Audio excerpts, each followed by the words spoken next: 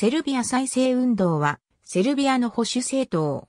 党本部1990年、東欧革命に余波がユーゴスラビアに及び、各共和国で複数政党制導入の動きが強まる中で創設。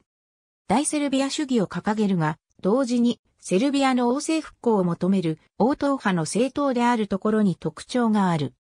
同年のセルビア共和国初の議会選挙では、小選挙区制の中で前線し19議席を獲得し、最有力の野党と見られたこともある。しかし同じく民族主義を掲げるセルビア急進党との関係は良くなかった。党首は党創設以来、ブクドラシコビッチ、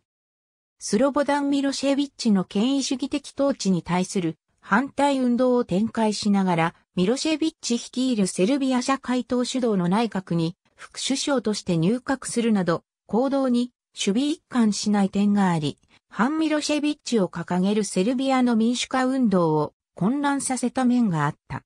しかしコソボ紛争で NATO 軍による空爆があった時には政権に抗議して副首相を辞職している。2000年のミロシェビッチ追放においては主導権を発揮することができず、その直後の国民議会選挙ではゼロ議席にとどまった。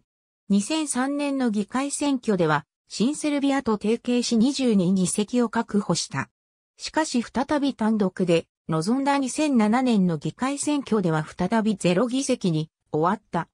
2008年の議会選挙では、民主党や G17 プラス地域政党などと親欧米派の政党連合、ヨーロッパセルビアのために、に参加、4議席を確保した。ありがとうございます。